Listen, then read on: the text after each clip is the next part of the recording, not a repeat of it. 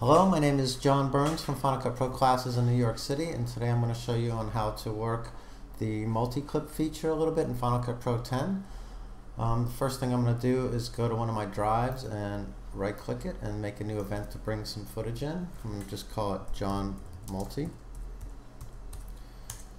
Okay, I'm going to say import files and I have um, a two camera shoot here of myself one's a DV camera and one's a uh, Canon 5D. I'm gonna go ahead and let it copy the the original files over to the events folder, create the 422 media, and say import.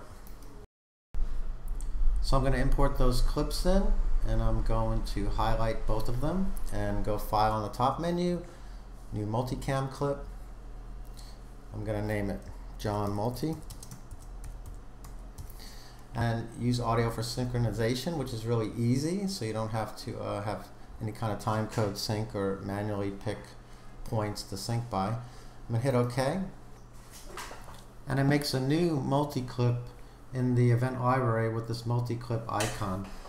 Um, I only see the first angle right now because I have to open up my angle viewer. So I'm to go ahead to this tiny little arrow on the right here, and I'm to say Show Angle Viewer, and that'll pop up.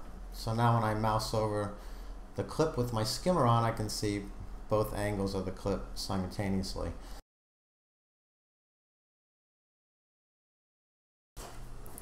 When this yellow button is on, you're actually switching both audio and video to the angle that you're clicking on. So as I switch over, as I pick ins and outs here, and I'm putting things in the timeline, um, I'm getting the audio and video from whatever angle I'm on. Now if I have good audio on only one angle, and let's say that was the first angle, I would click it, and then in order to have the audio stay where it is, I'm going to click this little button which enables only video switching. So now if you notice I'll click the second angle and the green around the frame tells you that audio is being taken from that angle and the blue tells you that video is being taken from uh, the other angle. So as you see, audio will now only be taken from angle 1 and is locked in to angle 1. So I'm going to go ahead and make a project here and uh, I'll just call it again John Multi. Okay, and that opens up a timeline. Uh, a couple ways you can work a multi-clip. You can cut it conventionally in and out, pick your angles, uh, and put them in the timeline piece by piece, or you could actually um, put the, a, a big chunk of the clip in the timeline, which I'm doing now. And you'll notice as I scrub through the timeline, I can see all my angles moving. If you play a multi-clip in the timeline, I'm going to go ahead and turn my skimmer off while I'm in the timeline, so you just have one playhead. So if I'm playing my, if you go further up, my multi-clip, I'm going to go ahead and mute it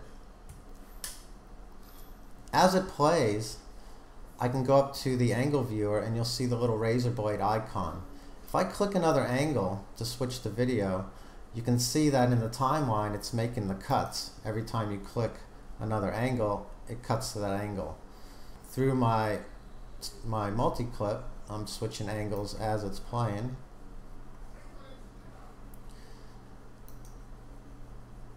And as I stop my timeline, I can see the separate cuts one of the clips and you go up to the angle viewer, again you'll get the razor blade. So if I click this, the angle switches to the right of the playhead to that angle, cutting the clip. When you want to switch an angle on a whole clip, you can just put your playhead anywhere in the clip. And if you hold the option key down, you'll notice that you don't get a razor blade anymore, you get a little hand. And when you click another angle, what it does is it swaps out the whole shot that the playhead is in to the other angle. So it doesn't make a cut, it actually just swaps the whole shot out. Um, so as I go through the angles, if I want to actually swap this shot out, I would hold the option key down and switch the angle. Thank you, and if you're looking for customized one-on-one -on -one training, please visit our website at finalcutproclasses.com. Thank you.